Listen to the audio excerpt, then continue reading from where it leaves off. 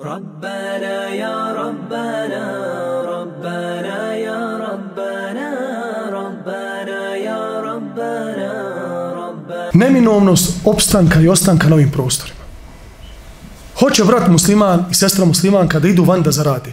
Imaj već u programu u cilj da se vratiš. Ti ići zaradi.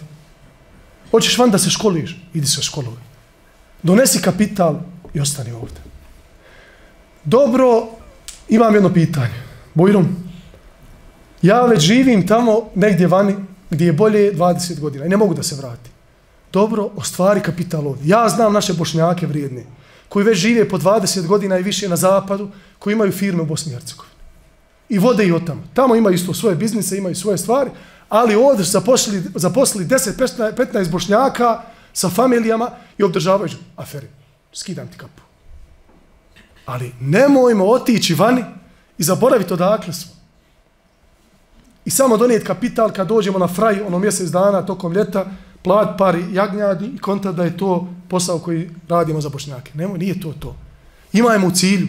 Školuj se. Nemoj gore otići na socijalu raditi. Ako je tako, evo mi ćemo večera Sergiju sakupiti svi po Marku, da ćemo ti ostani ovdje, ako za socijale. Nemojmo kaljati bošnjaci kada odu na zapad. U većini slučajeva kažu da su to najvredniji radnici koji postoje. I dođe bošnjak mladi, 19 godina, tek mu hormoni počeli da, ra, da, da radi, boli kamo ramena. Kaže, ja sam za socijale, šta je? boli me grlo. Kakav ti socijala, crna, vidite koliki si. I on ode tamo kad se ono prijavljuje, ne znam, svakih šest mjeseci, kad se prijavljuje na socijalu, uvijek se trlja po čelu. Šta je? Da ga ima migrenu da ga boli. Zaradi, Allah ti dao svako dobro. Kad već trošiš vrijeme gore, slušaš svašta i ponižava, zaradi i dođi. Ima naši vrijedni bošnjaka, zarađuju gore dobre pare, dođi ovde, brate, investiraj, uradi, imaj cilj. Pa kaže, ne mogu ispod 10 godina. Nema veze, 10 godina i vrati se. Ali ovo je emanet. Ovde nam je opstat i pričaj svojoj djeci. Otišao prije 15 godina, došao ovde, ja vam otišao na sjelo, kad čujem ja djeca gore Vigejc. Kakav Vigejc? Ne znaju bosanski. Pa reko, tobe, ja rabi, hajde se gore ti rodio. Pa bi ja skonto, znaš, ili babo. Babo, ne znam, njemački. On ga natapa, naklapa ga nekako. Naglasak mu onaj pravi bosanski, ono, kad, kad uđe u pekaru, onaj kad kaže gute morning, znači svi se naježe u pekari. Ali ba, djeca mu ne znaju bosanski gdje ćeš to uraditi? Pa to je nacionalno, znači, patriotska obaveza.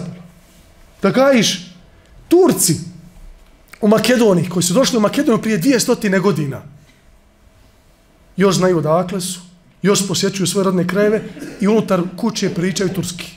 Ma ne možeš im to promijeniti.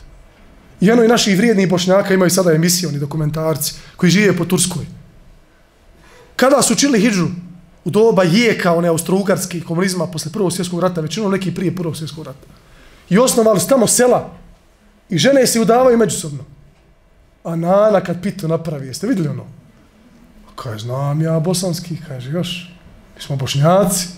Ne znam ja, kaže, ko vi tako da pričam, ali kaže, mi znamo, poštijemo mi, kaže, svoje, znamo mi, gdje je Bosna, ja sam, kaže, iz tog i tog mjesta, moje prezime, tako. Znači, gajimo to. Sačuvajmo, nemojmo samo razmišljati individualno za sebe. E, ja ću se sad ispalit, meni će biti dobro, imam, hvala lao, gore, dobru platu i onda na Facebooku status, Eto vam sada. Zlatne kašike, a? Ja, Boga mi... I onda ugasi Facebook i kaže on svom kolegi u svoj, kaže, da ovi znaju kako mi ovde arbajtujemo. ne bi niko došao. Jel vi mislite gore da je lako? E. Nigdje se ne živi u Bosni. 500 maraka plata, 800 se troši, kaže, gdje ono 300? Niko nas ne konta.